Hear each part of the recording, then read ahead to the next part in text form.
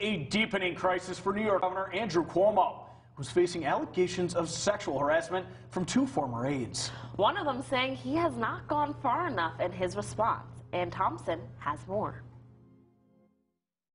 New York Governor Andrew Cuomo on the defensive tonight, saying he is truly sorry for interactions that may have been insensitive or too personal, after a second former aide says the 63 year old sexually harassed her. Tonight, that aide, Charlotte Bennett, rejected Cuomo's apology, saying the governor has refused to acknowledge or take responsibility for his predatory behavior. Some Democrats agree. That's not an apology he seemed to be saying, oh, I was just kidding around. You know, sexual harassment is not funny. How damaged is the governor? This is not the type of behavior anyone expects to see uh, in the leader of a state. So I would say he's, he's, in very serious trouble. New York's Attorney General will appoint an independent investigator to look into the charges against the Democrat. Over the weekend, the 25 year old Bennett told the New York Times Cuomo verbally harassed her last spring. He asked me if I believed if age made a difference in relationships and asked if I had ever been with an older man.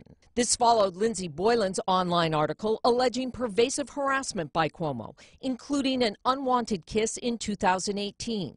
Cuomo denied Boylan's allegations. It's just not true. The problem here for people in trouble in public life is that they need lots of friends. And uh, Andrew Cuomo sadly does not have very many. He also faces a federal investigation for how his administration counted COVID nursing home deaths. A dramatic turn of events for Cuomo, once lauded for his leadership in the pandemic. The governor absent from view yesterday on what he might call day 365 of the COVID crisis. But even though Governor Cuomo was nowhere to be seen, his critics were everywhere. From Republican legislators to fellow Democrats, they all had something to say. I believe the right thing is for the governor to step aside. The allegations are very uh, disturbing, and if they are substantiated, uh, it's going to be a very serious problem. Sexual harassment is, in the workplace is a very serious issue, and there has to be absolutely no tolerance for it. No language, no conversation, no question that asks about a woman's private life, personal life, that should ever be conflated as a joke. That's not a joke.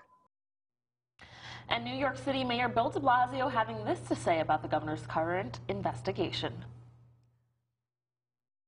That's not an apology. Um, he seemed to be saying, oh, I was just kidding around. You know, sexual harassment is not funny. It's serious. It has to be taken seriously. And, and he just clearly was letting himself off the hook um, for something that, for the women involved, sounded pretty terrifying. And uh, no, we need a full investigation. In a special edition of Political Talk, our political team tackling what this investigation means for New Yorkers and what could happen next.